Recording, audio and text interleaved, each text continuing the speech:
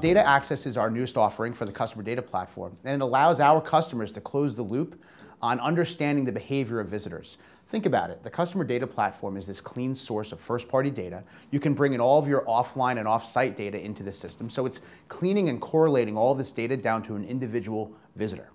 Wouldn't it be great if you could then have that data in your own data warehouse or in a hosted data warehouse because it's already clean and correlated. It takes away all of that effort that has to go into buying back data feeds or trying to put piecemeal data together or putting Humpty Dumpty back together again, as they say.